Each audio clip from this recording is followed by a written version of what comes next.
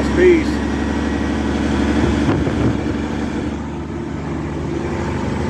Uh, we can't use that for the drag line, but we can use it for the crane.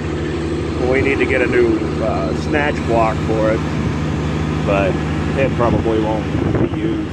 It, but it's nice to have the stuff, so.